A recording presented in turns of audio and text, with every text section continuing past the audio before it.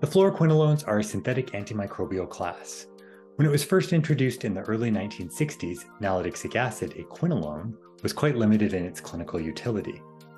Modification of these and other compounds led to the fluoroquinolones, which became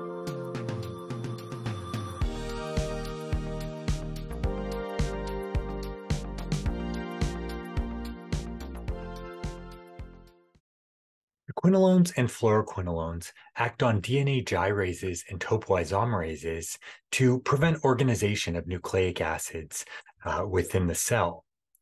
These enzymes are critically involved in DNA supercoiling and essentially prevent the large, actually quite delicate molecules of nucleic acid from being destroyed during normal cellular functioning.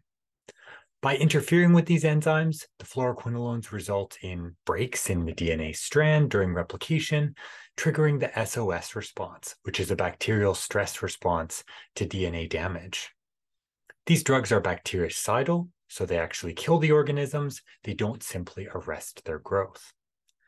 Now, one thing that's really interesting about their mechanism of action is that because they kill through a bacterial response to damage, the activity of these drugs actually has kind of a Goldilocks zone. So, at very low concentrations, I think it's reasonably intuitive that the drugs have a low level of activity, perhaps below the minimum inhibitory concentration. But at very high concentrations, the drugs paradoxically are less effective as well. And this is thought to be due to reduced transcription and translation of factors that are essentially necessary for bacterial suicide following the DNA uh, interference. Practically, what this means for prescribers is that it's important to follow label indications uh, for dosing. Too much drug is not necessarily a good thing. You can actually inhibit its activity. Looking at the spectrum of activity of drugs within this family, we start off with our quinolones, so things like nalidixic acid. These have a very narrow spectrum of activity, essentially only active against our enterobacteriales, um, and, and actually more specific than that are enterobacteriaceae, so bacteria like E. coli.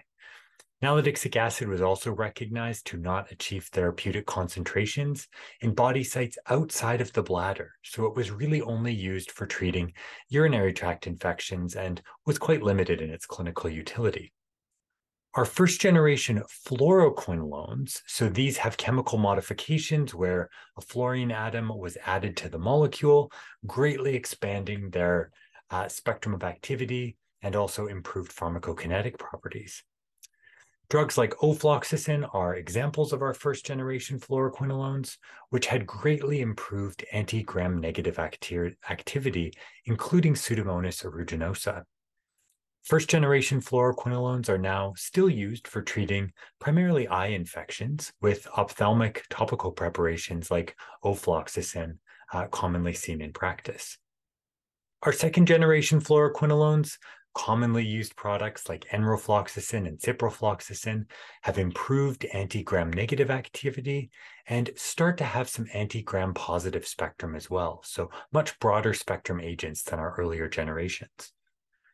And then finally, third generation fluoroquinolones, the veterinary product pradofloxacin has a very broad spectrum of activity, retaining its um, gram negative spectrum and improving its gram negative spectrum, retaining gram positive activity, but gaining action against even anaerobic bacteria. So a truly broad spectrum product.